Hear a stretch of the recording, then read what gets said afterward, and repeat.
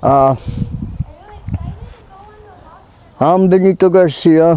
I'm here with uh, Walk of Life. I'm from Orofino.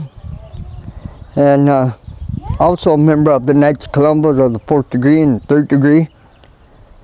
Hopefully that our brothers see this video, realize what it means to be part of the walk of life. We're not the only ones that are out there. Babies are also alive, like they're human beings like us.